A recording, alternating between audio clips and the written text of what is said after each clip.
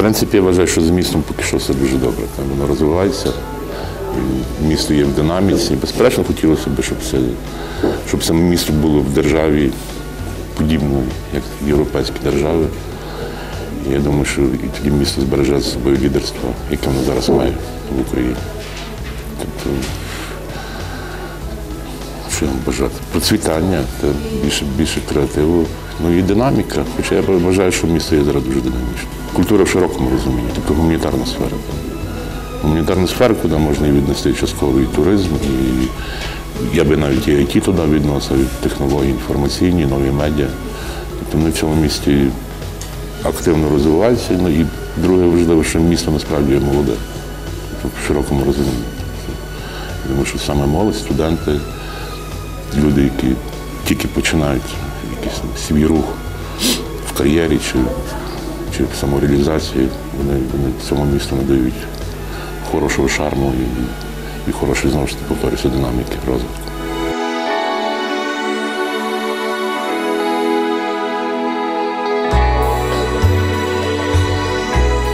Ну, якщо брати, що беремо до уваги, що держава є в тому стані, якому вона зараз є, та, і вона йде шляхом, все-таки шляхом європеїзації.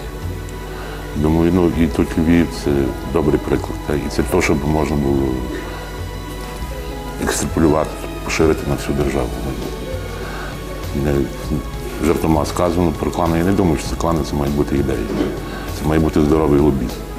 Лобізм е, не Львова чи Галичини, а лобізм ну, тих ідей, того стилю життя, тої, тої самореалізації, яка відбувається на Західній Україні, включно з, з українськістю, яка, напевно, найкраще збереглася і найкраще розвивається саме на Західній Україні.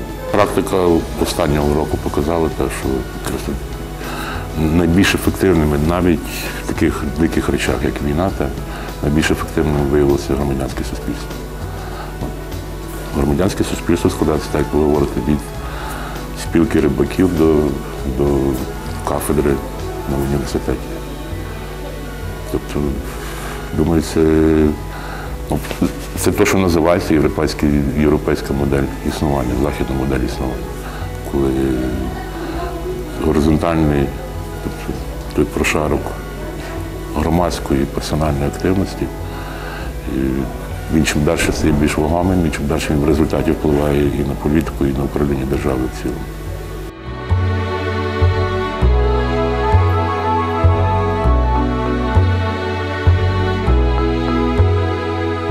Поліції дуже важко, порядній людині дуже складно поліція. Порядній і ефективній людині, яка хоче бути ефективною. Тому що впроваджувати реформи і змінювати ту систему, яка в нас ну, достатньо укорінилася, ну, вона ще від Радянського Союзу там не дуже змінилася. Так. Просто якісь трансформації відбулися. І насправді ну, я трохи був в поліції, говорить, дуже важко виборювати якісь зміни і не виглядати смішним, бути ефективним. Спокус дуже багато. В поліції це перша, перша небезпека, яка очікує людину. Так, це спокуси і розчарування. Якщо з цим поборотися ну, самому, та, ну, це, я думаю, що це можна бути ефективним і потрібно в поліції. Але я думаю, що зараз ну, цей період, який зараз ми переживаємо, це навпаки заперечує, і люди починають бачити, що їхня ефективність це в першу чергу залежить від їхньої активності. Не так, не так все ідеально, але я думаю, що в всьому світі не все так ідеально. Зараз в всьому світі є трохи криза, переоцінка критеріїв. Західна модель не завжди спрацьовує зараз, так як колись спрацьовувала. То є така собі трошки цивілізаційна, культурна криза, яка зачіпає не тільки Україну, а зачіпає весь світ.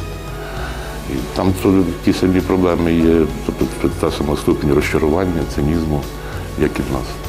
Це, це, ну, це сума, це і, і процеси глобалізації, які відбулися і відбуваються. Так, коли одиниця стає менше важити, ніж раніше. Це інформаційний простір, медійний простір, він забагато на себе бере. І людина з того висікається як персона. І відповідно далі менше уваги приділяється в гуманітарній сфері, більше технологічній сфері, фінансовій, в тому числі економічній. Тобто економіка заради економіки це не є дуже добре. Це вже такий і не капіталізм, і, і, і не соціалізм, і нічого не зрозуміло. Тобто воно не, не дуже починає працювати.